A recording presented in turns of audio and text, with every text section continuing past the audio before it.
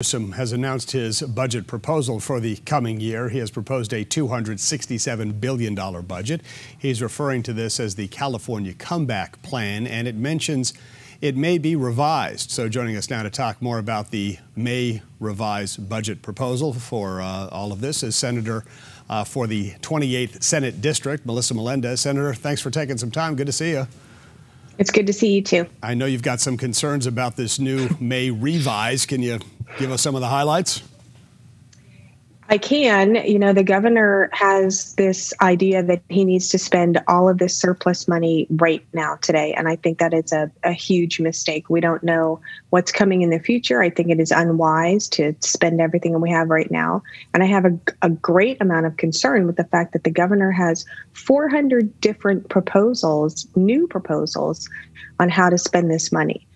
Now, to me, you know, when you have a surplus like this, which is unprecedented, you focus it. You focus it on the areas that really need the attention, like the DMV and bringing the DMV and their systems into the new millennium, like EDD, which has been unable to get people their unemployment checks. At this rate, people are going to get a stimulus check before they get the unemployment check that they should have gotten last year. Mm. These, you know, areas they aren't super exciting. You know, no one is going to look at it and say, "Oh, wow, that's really incredible. But it's needed. It's desperately needed for a state of 40 million people who rely on just those two departments alone for so many things. So I, no, I'm not happy about this revision. I think the governor is going far and beyond what is necessary. I understand people get excited about having extra money. We all do.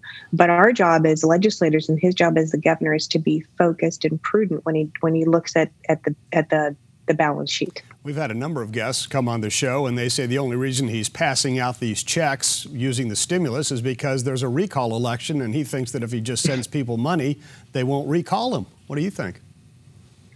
Well, I mean, people do respond to that type of incentive. I think that's correct. Is that what he's doing? It sure looks that way. I mean, I don't know what it's in his mind but it seems very odd that the state has had you know revenue surpluses in the past and he hasn't chosen to go down this road. And it it seems rather suspect to me but i do think that californians you know they're not stupid and they can see what's going on. And and i will also add if we have so much extra money number one that means people are being taxed too much. So why can't the governor say to the legislature bring me a bill that lowers taxes. That would benefit everyone in California. I mean, he has chosen to send a tax rebate, but only to certain people in the state. Why not send it to everyone? Everybody has suffered through the last year. Everybody has done exactly what they were asked to do and made sacrifices. Why not reward everyone and give everyone some of the money back that they gave the state in the first place? And I know a lot of people are criticizing the governor, especially these small businesses, saying that he's not even following the CDC guidelines to let vaccinated people stop wearing their masks, thinking that, you know, if he just followed the guidelines, there would be more people out and businesses would prosper sooner uh, than they are now. What are your thoughts on his decision to go against the CDC? Here's what I think happened. I think that the governor didn't know that the CDC was going to change the requirements for wearing a mask. And he got caught flat footed and he wanted to be seen as remaining in control. And he wanted to decide when Californians get to take off their mask. So he decided June 15th. I don't know what's so special about June 15th. Why can't it be May 15th, May 1st? Nobody really knows.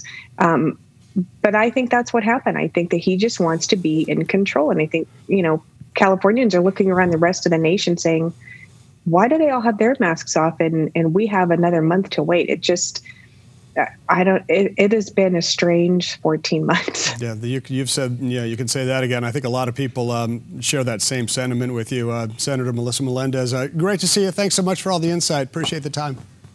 You bet.